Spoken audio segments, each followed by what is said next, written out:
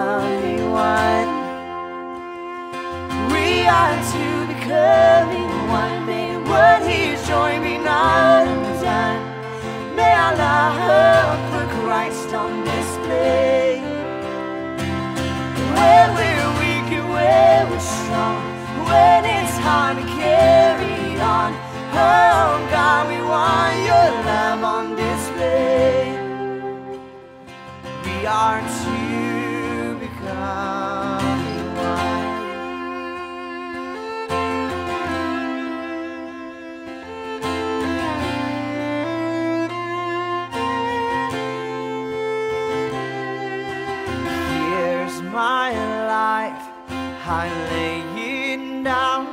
I give up myself for you.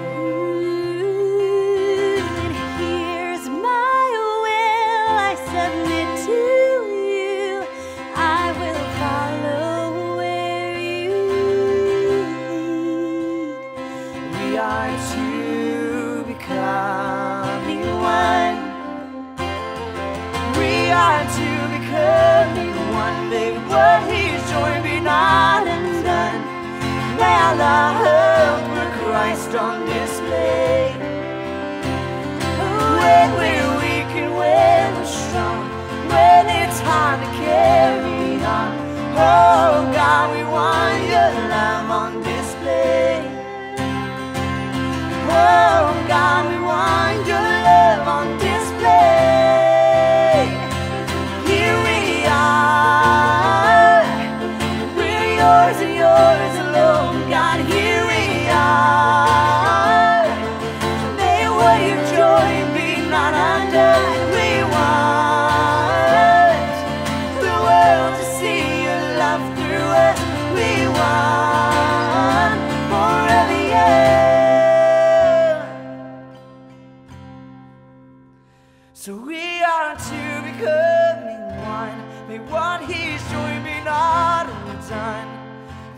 Our love for Christ on display. When we're weak and when we're strong, when it's hard to carry on. Oh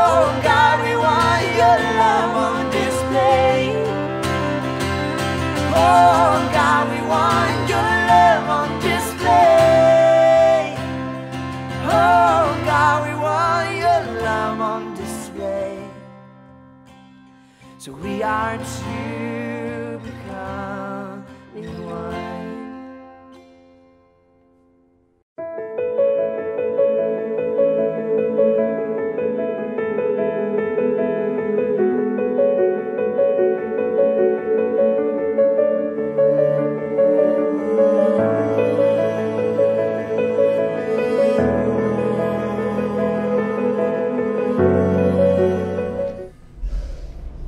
friends and family, we welcome you and we thank you for being here on this important day.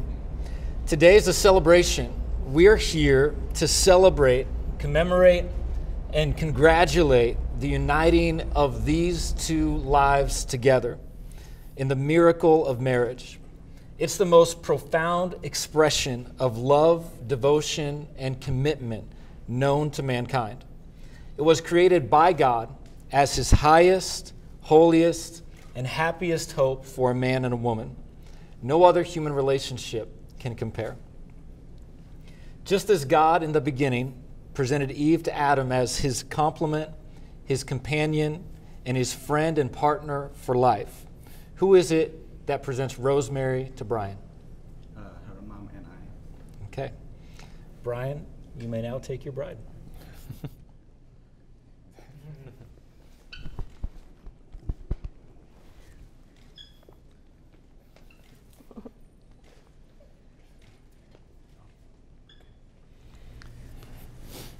Just as God has to be the foundation in our lives for our relationships to thrive, I want us to begin in prayer. So, would you bow your head with me as we pray? Heavenly Father, we've come together to witness the miracle of your love work in the lives of these two people. We thank you for the power of the Holy Spirit who brings us into a place of union with you and with each other. God, our prayer is that in all we do, in this ceremony, in this marriage, and in this life, that it would glorify you. We thank you for it. In Jesus' name, amen. All right. You can have a seat if you want. I want to read to you a passage of scripture that Brian and Rosemary selected. It's out of Ruth chapter 1, verse 16. Ruth said, Don't urge me to leave you or to turn back from you. Where you go, I will go. Where you stay, I will stay. Your people will be my people, and your God, my God. I love the scripture that you both selected because it speaks to the covenant commitment that you're making today. You know, lots of times we think of marriage as a contract. And in one sense, that's understandable because there's a lot of similarities. I mean, you are entering into an agreement, you both have expectations about the future, and you even sign a paper to formalize it. But the difference is a contract is based upon mutual distrust. We enter into contracts to protect ourselves. I'm only in as far as you're in. A covenant, though, is entirely different. A covenant isn't based on mutual distrust, a covenant is based on mutual commitment. We enter into marriage with the intention to protect the other, not ourselves. We're both in 100% with every part of our being. To be in covenant is to be joined together. And that's what this verse is saying. Your greatest testimony of God's grace will be the way that you determine now to love each other. Don't let anything come between the sacred relationship that God has given you. It's not always going to be easy, but we get insight into how to do this by something Paul wrote in Scripture.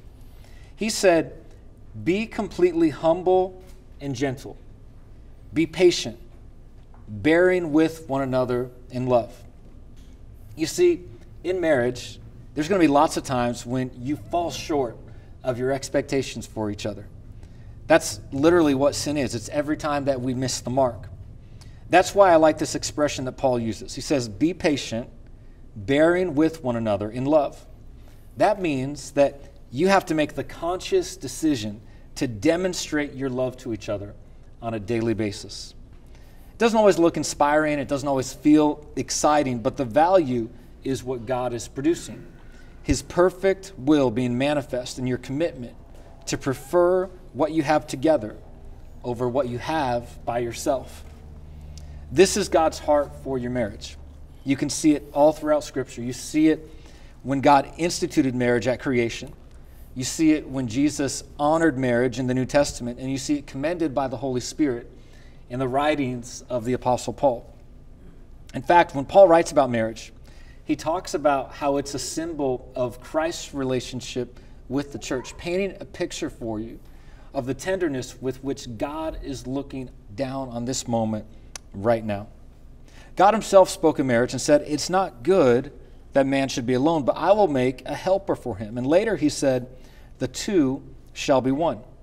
In other words, what we see in Scripture is that part of God's purpose in marriage is that God made you for each other.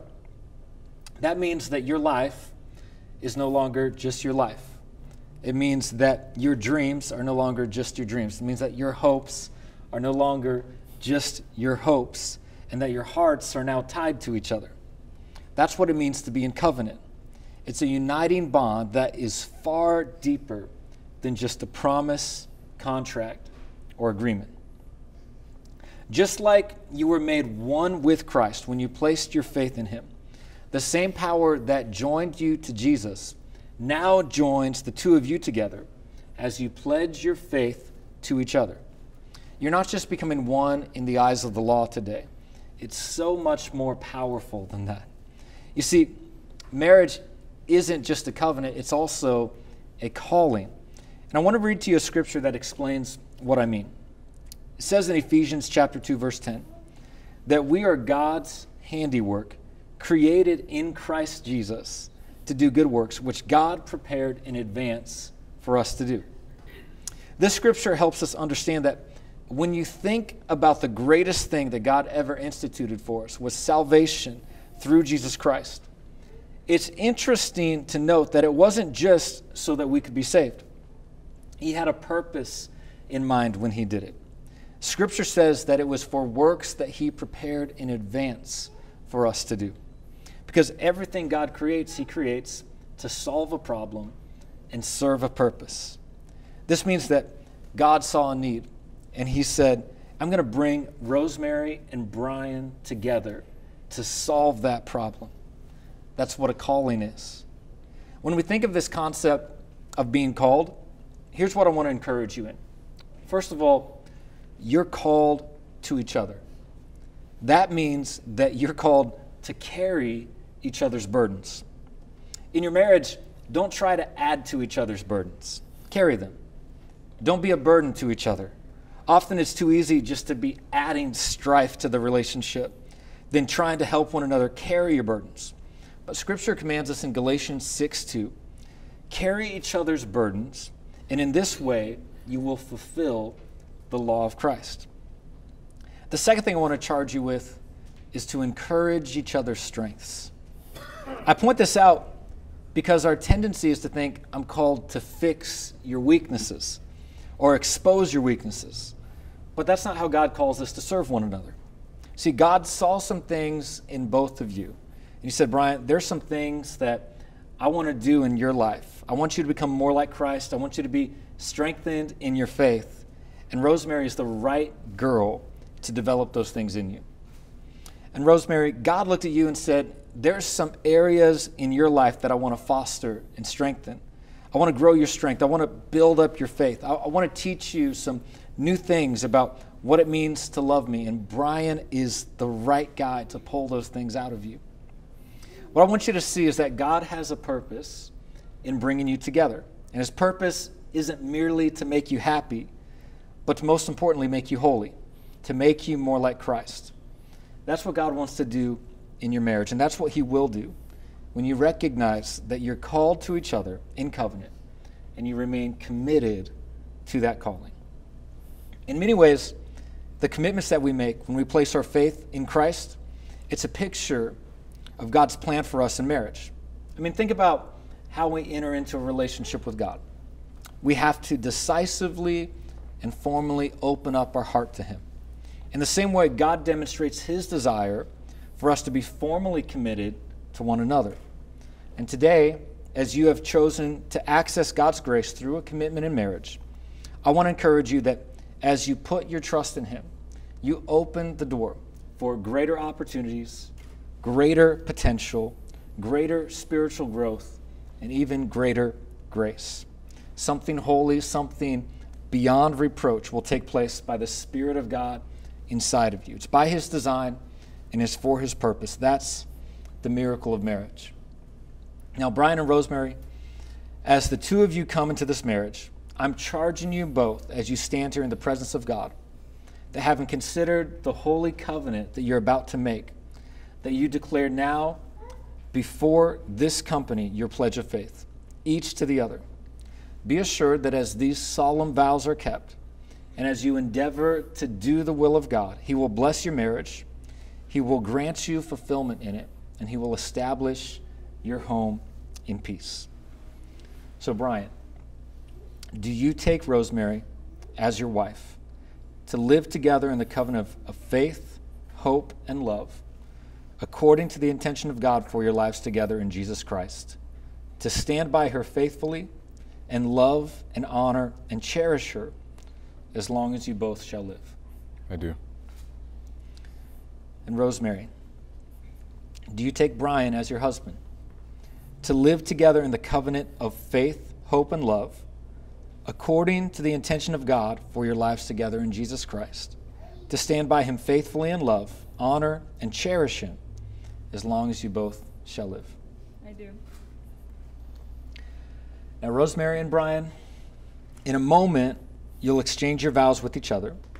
Not only are these promises meant to be a beautiful and sacred expression of your love for each other, but they are a statement of faith that you are declaring now in the presence of God. So, Brian, you can take Rosemary's hands in yours and say your vows. Oh, I,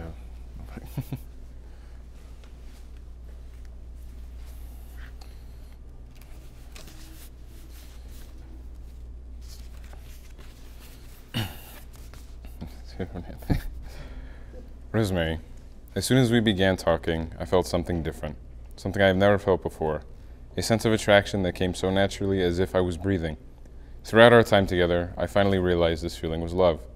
Your personality flows effortlessly with mine, and you always inspire me to continue to grow myself and to grow my relationship with God. You never cease to amaze me, and every day I'm grateful to see you, whether it is to laugh or to cry. You fill me with joy and determination in fulfilling a full life. I couldn't imagine anyone else I'd rather be with for the rest of my life. I pray we continue to share all of our feelings together, good or bad, and we continue to grow in our marriage more so. I love you so much, and if I could do it all again, I wouldn't have changed a thing. I vow to keep you close to Christ, to continue to support you in all ways, to put my best foot forward in the relationship, to not hide my feelings with you, to make you laugh three times a day, to continue to show you my culture and learn more about yours, to love your family as if it were mine, and to always remind you of what an amazing person you are.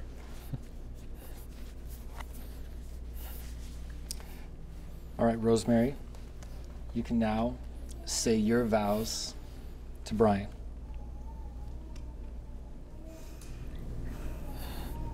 Brian, there are countless things I love about you, but here are a few of them. I love how you make mundane activities like grocery shopping or going to the gym so much fun. I love how you are open to learning about my culture, hobbies, and interests. I love how much you love Christ and how you always strive to have a deeper rela- relationship with Him. You are everything I've ever wanted and more in a husband. You are my best friend, and you know me better than anyone else. You make me better at everything. You make me a better Christ follower, a better friend, a better student, and even a better cook. I vow to be your biggest supporter, to make you laugh every single day, to not take you for granted, to cherish every little thing you do, to love you and your family unconditionally for the rest of my life, and to hold your hand through good times and bad times. I promise to be a loving and devoted wife who walks by your side forever. Te amaré por siempre.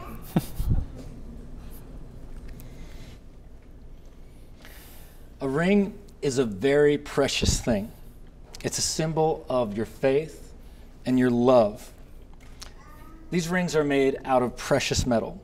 It's a never ending circle that indicates a never ending love. That's what God's love in us enables us to do. It's what causes His power to move in our lives.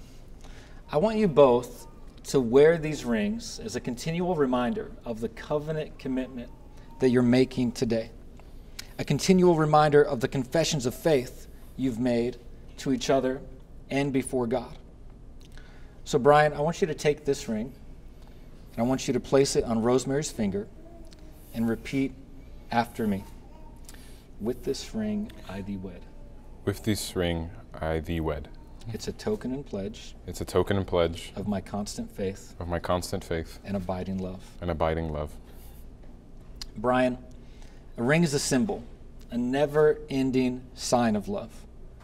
So wear your ring in remembrance that you belong to one another, It's a remi- reminder of the commitment you've made today.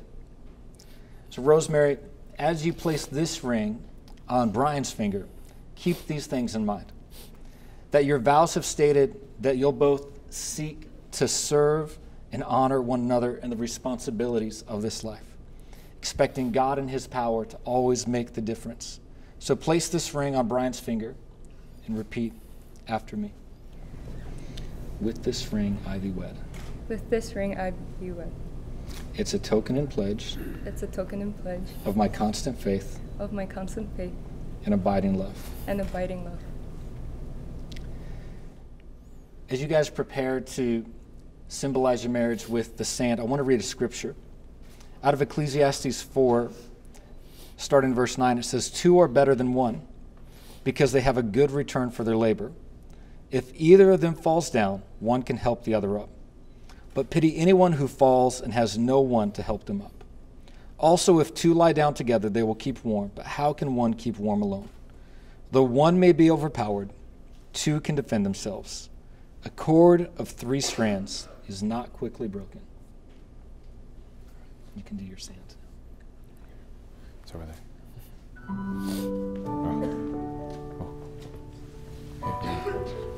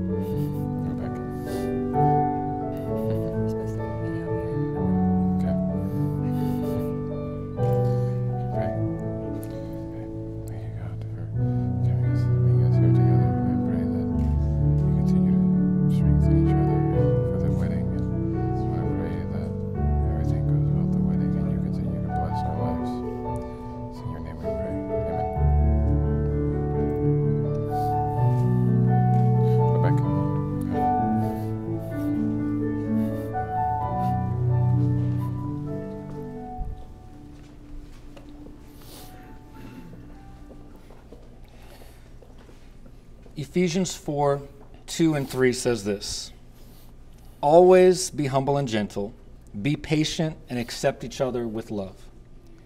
Verse 3 says, You are joined together with peace through the Spirit. Do all that you can to continue as you are, letting peace hold you together. Brian and Rosemary, may the Lord bless you and keep you. May the Lord make his face shine upon you and be gracious unto you. The Lord lift up his countenance upon you and give you peace both now and forevermore. You guys can join hands.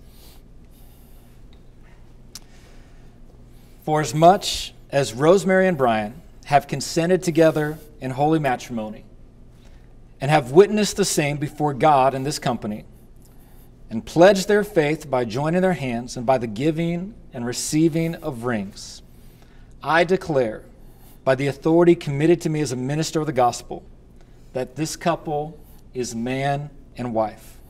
What God has joined together, let no one separate. Brian, you may now kiss your bride.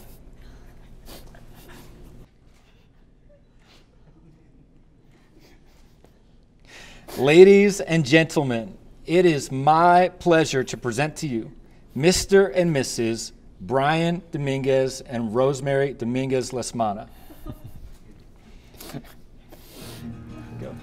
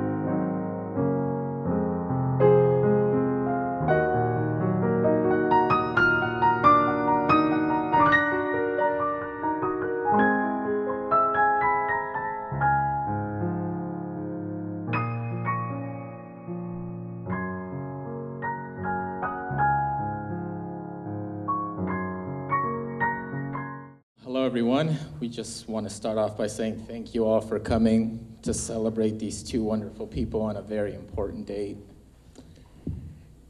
It's wonderful to see two different cultures from different walks of life coming together as one to witness their union, especially during a very difficult time for a lot of people around the world.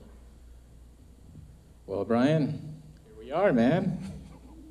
This is your big day, and we couldn't be happier for both you and Rosemary. We've been through so much together and have made so many wonderful memories, not only as siblings, but also as the bestest of friends. I still remember that chunky little kid who would always follow his big brother around everywhere and just wanted to experience everything with a friend. I would always slow down to make sure you didn't get left behind and always picked you back up whenever you did fall. I also remember the big brother who would always hold my hand as we would go through the forest, plastic fishing rod in hand, as we would walk down to the river to catch some fish, always guiding me, making sure I would never fall. And here we are, together again, making a new memory as you take the next step in your journey. This time, it's not just us who are by your side, but you now have a partner who will help guide you in everything that you do. Not just a new partner, but a new family as well, who will love and support you the same way that we do.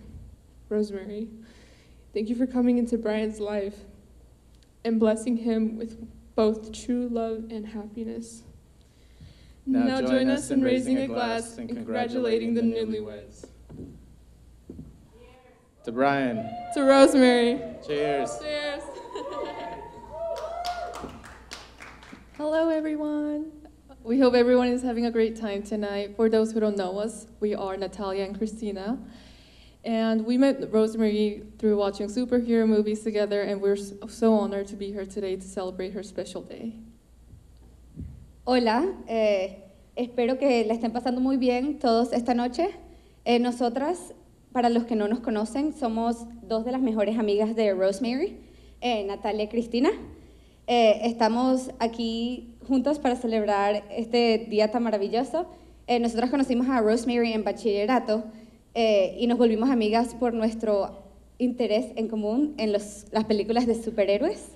Eh, y em, esperamos que eh, la pasen muy bien esta noche, eh, celebrando el primer día de esta etapa nueva de Rosemary y Brian. And as we all know, Rosemary is the sweetest, most caring, compassionate person we know. And she was always the one whom we both would turn to at our best and worst moments. Because she's the person most ready to celebrate with you, but also the one who's ready to pick you right back up when you fall. She always made us feel understood, heard, and com- comforted. And even after high schools, as we went to do better and bigger things in college, we always felt like no matter what, we could always count on Rosemary. Eh, Rosemary es una de las personas más eh, cariñosas, amables y consideradas que nosotras conocemos. Eh, ella siempre ha estado ahí por nosotras en nuestros mejores y peores momentos.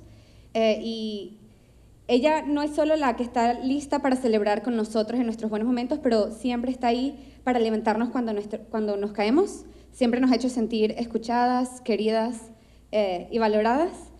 Eh, y estamos muy felices de estar aquí con ella esta noche. Uh, and we remember so clearly how Rosemary had a list of things she wanted in a guy. And we, everyone thought it was unachievable, but our dear friend Haishin introduced Rosemary to Brian. And sure enough, date after date, Brian kept checking off boxes, and we were confident that he was, Rosemary finally, finally found someone who was perfect for her. Eh, nos recordamos eh, muy claramente como Rosemary nos había dicho que ella tenía una lista de cosas que ella quería en un chico y que nosotras y ella pensamos que esta lista era inalcanzable. Eh, pero luego de que nuestra amiga Haitian introdujo a Rosemary a Brian, eh, vimos como cita tras cita Brian chequeaba las marcas en su lista eh, y así fue como sabemos que Brian es la persona perfecta para Rosemary. Rosemary loves so deeply, selflessly, and unconditionally, and I know that Brian is the best person for Rosemary because I we've seen him mirror these traits for her. And we're confident that two of you will always be able to get through any hardships together with your combined patience, resilience, and love. Em, Rosemary ama profunda, incondicional y perfectamente. Y sabemos que Brian es la persona perfecta para ella porque lo hemos visto imitar estos rasgos para Rosemary. Eh, y sabemos que con su amor combinado van a poder superar cualquier dificultad. Also, Brian has always been there for us too, and he has always been there for Rosemary, and always, and he will always treat her like the amazing queen she is, or else we'll always be watching you, Brian. Eh, como dijo Cristina, Brian siempre ha estado ahí para nosotras también, eh, desde que lo conocemos hace como cuatro años, eh, y sabemos que él siempre va a estar ahí para Rosemary y la tratará como la persona perfecta que ella es, eh, si sabe lo que le conviene. So let's celebrate this amazing couple. We know that because they met, met they met, their lives have, have forever changed for the better. Um, they've developed as better as a couple and as individuals. And we know this because every time little things happen in Rosemary's life, she the first person she wants to call is Rose, uh, Brian, no matter what, which is super annoying but really sweet at the same time. Eh, entonces celebremos esta eh, maravillosa pareja esta noche.